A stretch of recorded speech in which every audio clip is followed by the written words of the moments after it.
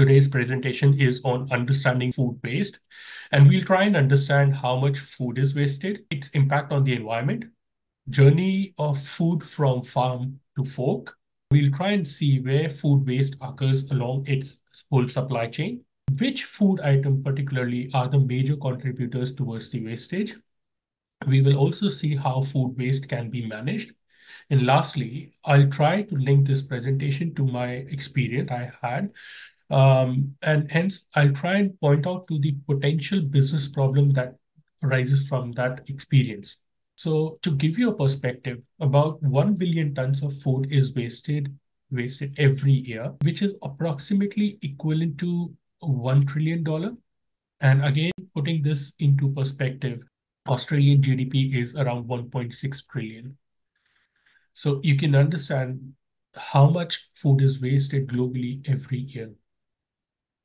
This wastage is equivalent to quarter of water that is used for agriculture again throughout the world. And because of this wastage, which goes to the landfill, it leads to producing 8% of the total global GHG emissions. So it's a very big issue. Now, looking at Australia, waste are around 7.6 million tons every year.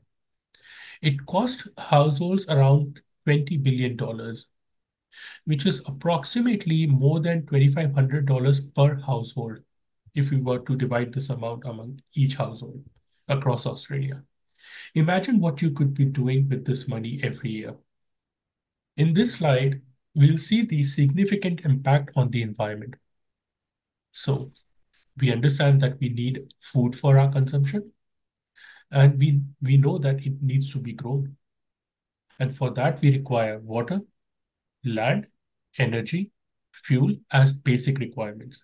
When they are combined together, they help in producing, I mean, help in vegetation, manufacturing, from manufacturing to packaging, from packaging to distribution, and finally we get it uh, get it uh, prepared and then we consume it, which is actually the whole supply chain that you are seeing right now, which is journey from the farm to fork.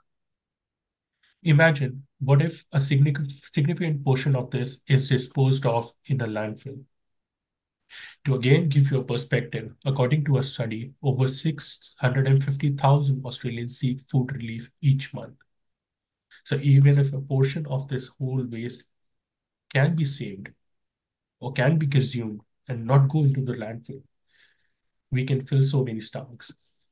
This is a, a slide which shows the whole supply chain in a graphical manner. So it's a primary, like we produce into agriculture, then it's processed, which includes manufacturing, then it gets distributed to retail, and then it comes onto our plate. Over here, this chart or this table shows uh, where the waste occurs mostly. So we've seen the supply chain.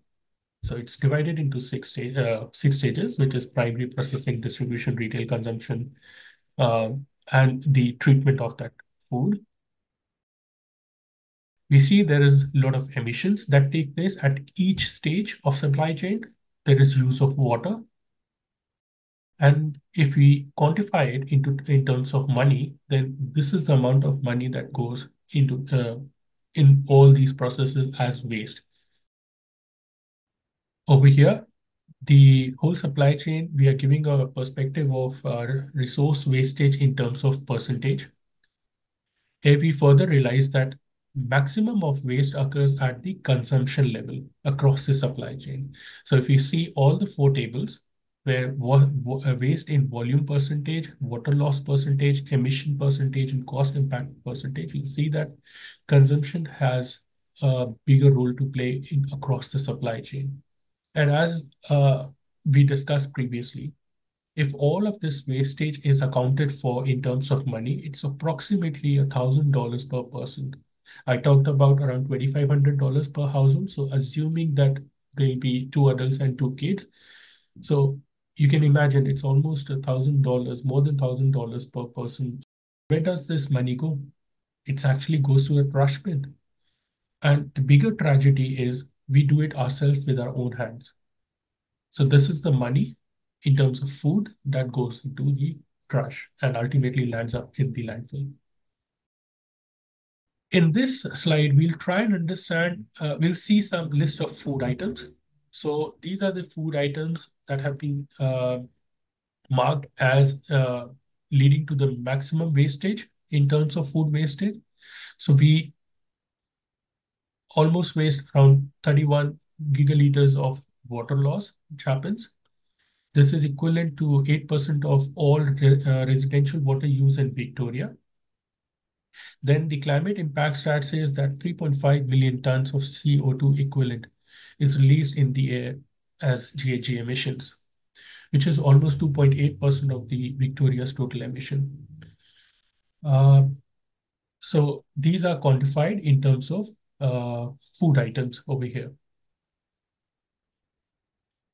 Now further going deeper, uh, I'm trying to flesh out the food waste at consumption level in hospitality and household level.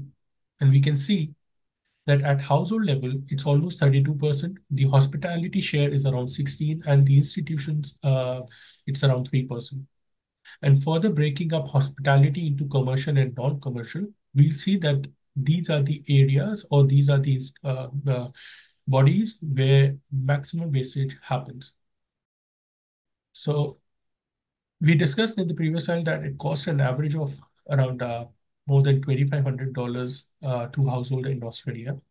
2.2 million tons of food is wasted from the commercial and industrial sectors, hence resulting in significant waste disposal and lost product cost of, to the business.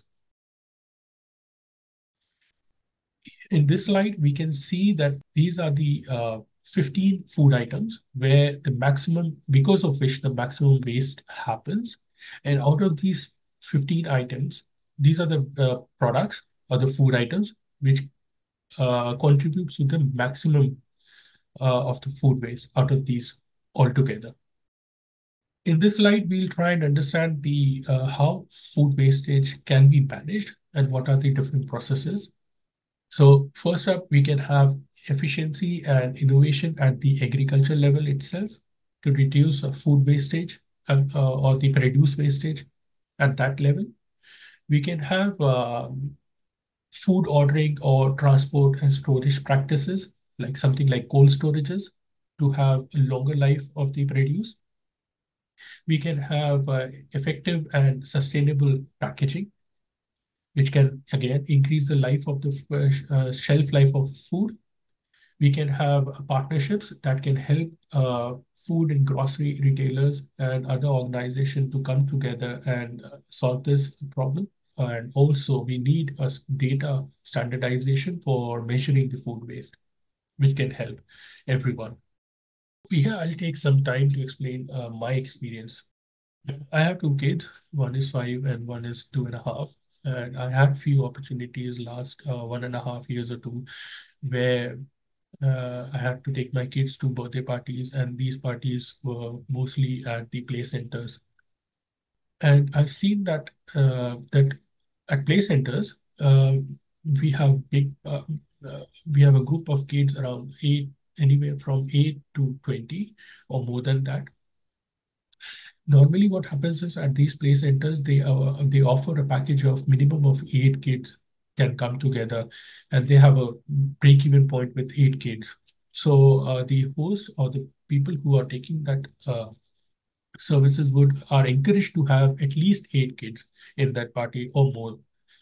So uh, of course, that package also includes the play area and as well as the food that they serve at the center. But uh, mostly uh, you'll see that it's not bring your own food uh, except the cake. So food will be served there. They insist that whatever you want to have, have it from the center itself. So they don't actually encourage you bringing something from outside.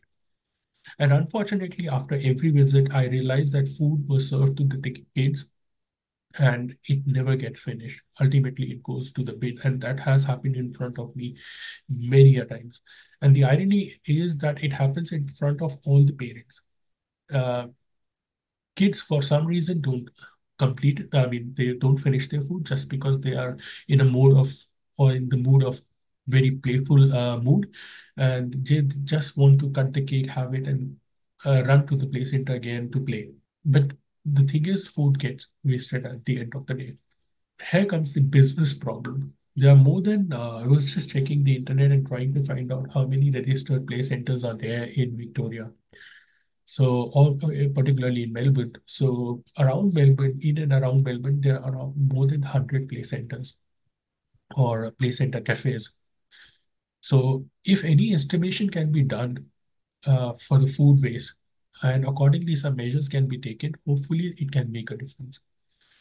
So I'll end my presentation here. Thank you.